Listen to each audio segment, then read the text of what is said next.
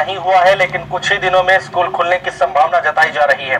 ऐसे में अभिभावक असमंजस में है, जहाँ एक तरफ़ बच्चों की सुरक्षा को लेकर चिंता है, वहीं दूसरी तरफ़ जो अभिभावक बच्चों को स्कूल भेजने की हिम्मत जुटाने की कोशिश कर रहे हैं, वो स्कूल फ़ीस को लेकर परेशान है।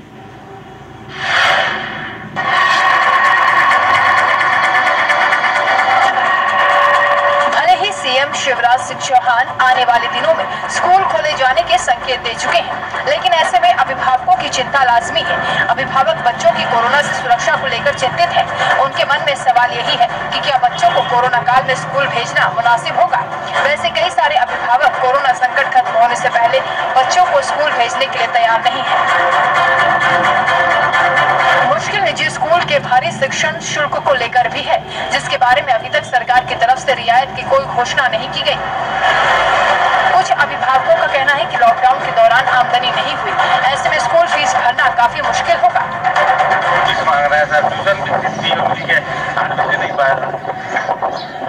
स्कूल फ़ीस से ज़्यादा है। अच्छा। कहाँ से देगा आदमी अब दुकानें बंद पड़ी हैं काम धंधे नहीं है। ठीक चाहते हैं कि सरकार से छूट मिलनी चाहिए। अब बिजली का बिल आ ही रहा है स्कूल का फिर कहाँ से देगा आदमी? बताइए आप। वैसे कुछ निजी स्कूल ऑनलाइन पढ़ाई कराने की बात भी कर रहे हैं, लेकिन डॉक्टरों का कहना है कि बच्चों के मोबाइल इस्तेमाल करने से विजन सिंड्रोम का खतरा है। साथ ही मोबाइल का ज़्यादा इस्तेमाल मानसिक स्वास्थ्य के लिए भी नुकसानदायक हो सकता है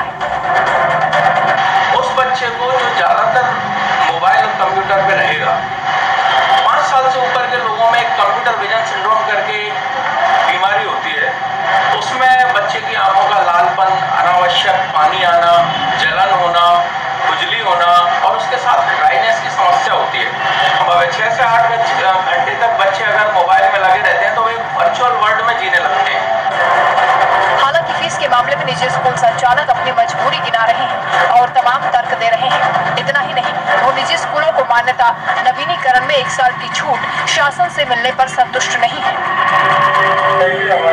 मुख्यमंत्री महोदय ने भी आदेशित किया है कि आप सब स्कूल की फ़ीस ले सकते। हैं क्योंकि क्या है स्कूल का स्टाफ सैलरी देने के ना है तो स्टाफ पूरा स्कूल से जुड़ा हुआ है, और अदर्स भी है टैक्सेस है, बसों की किस्तें हैं, और आपके बीमा है, और ये सब खर्चे नहीं से प्राइवेट स्कूल में बच्चा एडमिशन कराने आता है तो से कमज़ोर नहीं होता।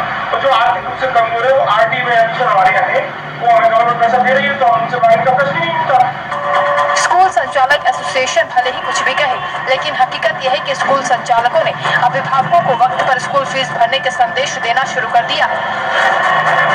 निजी स्कूल के बाहर नोटिस बोर्ड पर लिखी ये सूचना से ज़ाहिर है, कोरोना काल के दौरान भी वक्त पर तय समय सीमा में फ़ीस जमा कराने के फरमान जारी किए जा रहे हैं।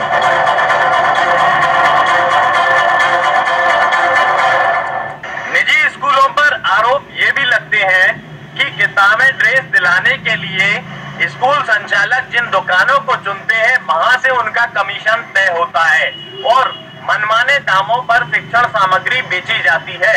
हालाँकि, जब निजी स्कूलों के शिक्षकों से कैमरे के सामने आकर यह बताने को कहा गया कि उन्हें लॉकडाउन के दौरान सैलरी मिली या फिर नहीं तो नौकरी जाने के डर से कोई सामने आने तैयार नहीं हुआ।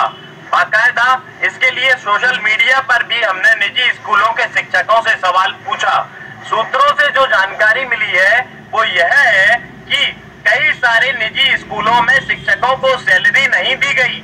ज़ाहिर है, कोरोना काल में झंझट कई तरह की है, मगर फ़िलहाल कोई मुनासिब रास्ता नज़र नहीं आता। सौरभ दुबे, शिवपुरी, हिंदी खबर। और फ़िलहाल हमारे इस बुलेटिन में इतना ही। आप बने रहिए हिंदी खबर के साथ।